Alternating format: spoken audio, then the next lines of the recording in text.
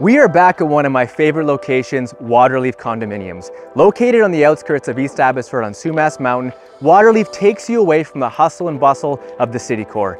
Unit 202 offers an open living area, one bed, one bath, and is tucked in green space giving you that privacy you've been searching for. I'm Curtis Paulson with the Tacker Real Estate Team, and we're proud to showcase this opportunity to you.